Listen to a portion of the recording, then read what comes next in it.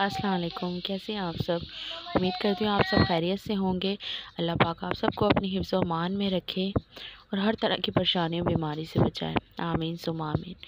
तो चले आइए, आज के ब्लॉग का स्टार्ट करते हैं और आज जल्दी जो है वो बहुत नाराज़ है मुझसे और मुझे छोड़ के जाने की धमकियाँ दे रही हैं। तो हमने प्याज में गरम मसाला ऐड कर दिया है और प्याज को हम ब्राउन करेंगे और टमाटर कट हो रहे हैं।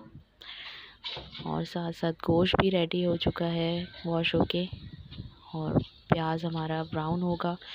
अब लहसुन अदरक पिस रहा है। साथ में मसाले सारे रेडी हो रहे हैं।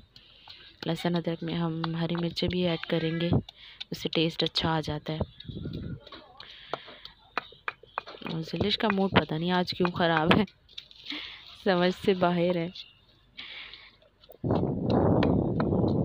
आज ही बिल्कुल देसी स्टाइल में हमारा खाना बन रहा है। अब हमने आलू ऐड कर दिए आलू हमने बच्चों की वजह से ऐड किए हैं। वैसे गोश्त और चना बना रहे थे।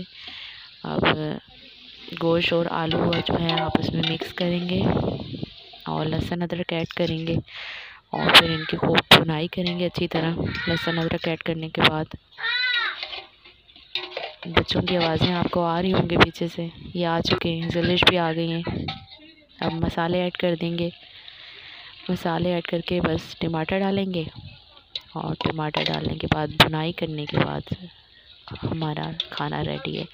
ये एक्चुअली जो है वो न्याज का खाना बन रहा है। इसके बाद हम छोले ऐड करेंगे। हमने छोले भी ऐड कर दिए और फिर ये दम पे जो है वो रेडी हो जाएगा खाना।